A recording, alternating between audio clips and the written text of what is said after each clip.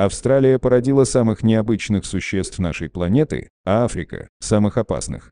Когда-то и Австралия, и Африка были частью суперконтинента Гондвана, и если сейчас там проживают самые ядовитые и странные животные, то трудно представить, какие монстры обитали там в доисторические времена. Сегодня речь пойдет о кархародонтозавре, динозавре, который терроризировал даже самых-самых крупных динозавров. В 1996 году в Марокканской пустыне были обнаружены останки гигантского динозавра, по-настоящему поразившие ученых. Самой удивительной частью находки были зубы динозавра длиной в 12 сантиметров. Благодаря этой особенности хищник и получил свое название – кархародонтозавр, что в переводе означает акулозубый ящер. Кархародонтозавры были настоящими королями позднего мелового периода, на данный момент они входят в четверку самых крупных известных науке хищных динозавров.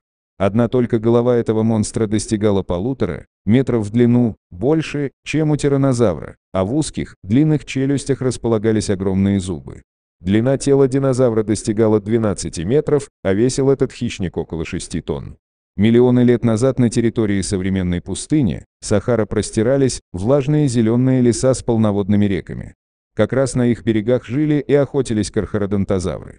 Эти гигантские хищники были непревзойденными охотниками, они могли убивать даже самых крупных динозавров и с легкостью отнимать добычу у стаек мелких ящеров. Несмотря на внушительные размеры, кархародонтозавры могли развивать большую скорость и, несомненно, находились на вершине пищевой цепи. Кархародонтозавры вели одиночный образ жизни, и это неудивительно, ведь врагов у них практически не было, и коллективно защищаться им было ни от кого.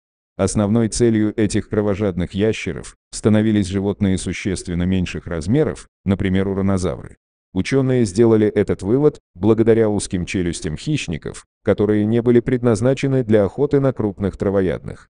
Однако ящеров это не останавливало, и если легкая добыча уже была перебита, они выбирали соперников покрупнее. Кархародонтозавры охотились даже на крупнейших ящеров, титанозавров, чьи кости были найдены в тех же отложениях. Окаменевшие яйца кархародонтозавров не сохранились, поэтому об их размножении практически ничего не известно.